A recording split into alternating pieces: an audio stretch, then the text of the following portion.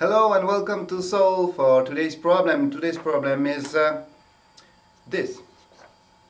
You have a 2, a 2, a 2, and you have a equal and 6, and uh, you have actually to put some mathematical symbols here and there to make this equal equal to 6. Can you do that? Of course you can. Everybody can do that. It's easy. You can just just change those empty space with pluses. 2 plus 2 plus 2 makes 6. Oh, very easy, I know. But this is not the problem. Actually, this is the example to show you what you have to do. Because the, pro the, the, the problem is behind me. We have already solved this one.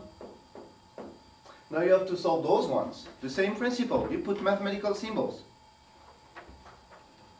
Can you do that? Bye bye and see you next time for the answer.